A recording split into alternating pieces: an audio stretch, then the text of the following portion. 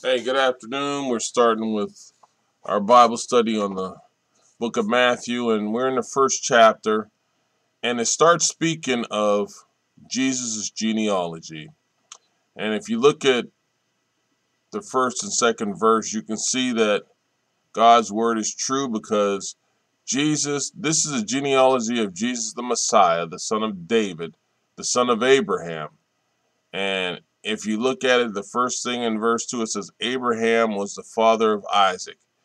And you can go from Isaac on and you'll see it goes down, goes down. And if you look at who the Lord has in his genealogy, there were some great men in Jesus' genealogy also. And why wouldn't there be when the Messiah is in your genealogy? There was Isaac, there was Jacob, uh, Judah, you have Ram. Oh, you got Boaz. Oh man, you got Jesse. Uh oh, and Jesse was the father of who? King David. Um, then you got Solomon, and it just goes on and on. And then you get to Jacob. Hmm. A lot of people thought it fell through Mary, but no. Jacob was in this lineage, and Jacob, the father of Joseph. And who was Joseph? Joseph was Mary's husband. So it followed Abraham's seed on the father's side. Jesus was the son of Joseph, who was all these great, great, great, great, greats of Abraham. And Mary was his mother, as we all know. And Jesus is and was and is the Messiah.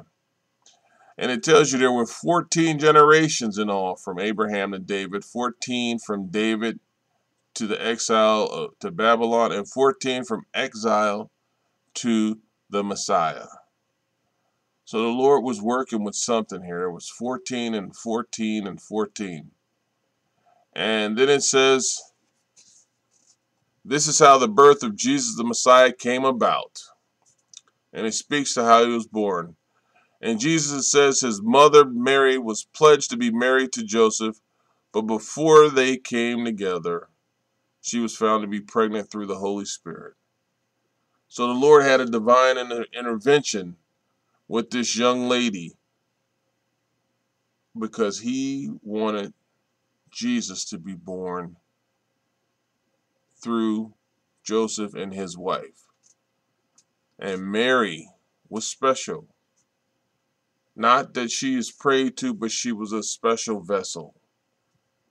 And people mistake her being a special vessel that God used, because we are all special vessels, vessels if we let the Lord use us. She wasn't to be prayed to. She was just a special, special vessel chosen by God. And the Lord had to convince Joseph not to be afraid to take Mary home as his wife. It tells you that. It tells you that in verse 20. And it tells him then in 21 that she's going to have a son. And he was told what to name the child.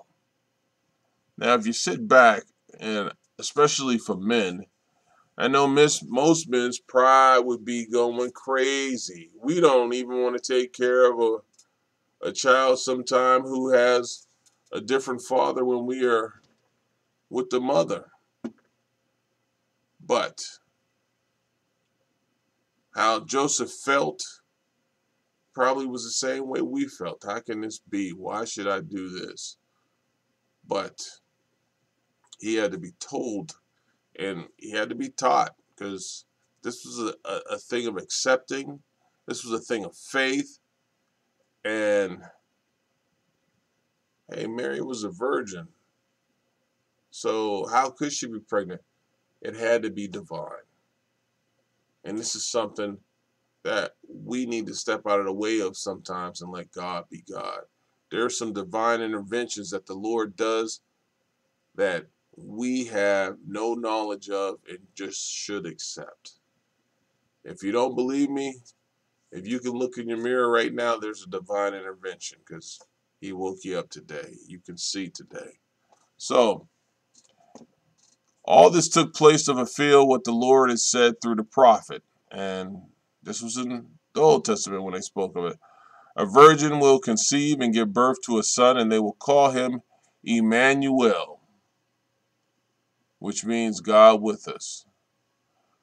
And then it tells you Joseph woke up. He did not, he, he did what the angel of the Lord had commanded him and took Mary home as his wife. Obedience. He was obedient. So he had to have some faith. He was obedient, and you could tell from his lineage that they had all had faith and they had been obedient. And they weren't perfect, but they were a heart of God, a friend of God. Just look at the lineage, it tells you there. But he did not consummate their marriage until he gave birth to a son. Mary was not touched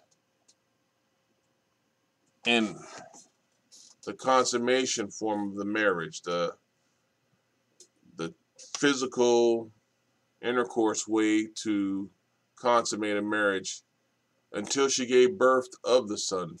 So Mary was a virgin completely. Not just she was a virgin when the Spirit came upon her, she was a virgin until after Jesus' birth. So Joseph, hmm, he was a pretty humble dude too. Had to be, because that would take a lot. I'm sure a lot of men are out there saying, yeah, that would take a lot. But after Jesus was born in Bethlehem in Judea, hey, we had a king. His name was Herod. He wasn't a good character. He was out there looking for this dude. He was looking for Jesus. He wanted him because he, you know, they said Jesus was going to be born king of the Jews. And that wasn't what Herod wanted.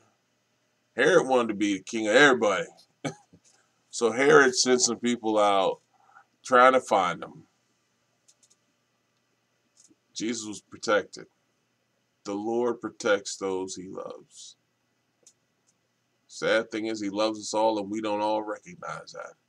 But the Lord protected him.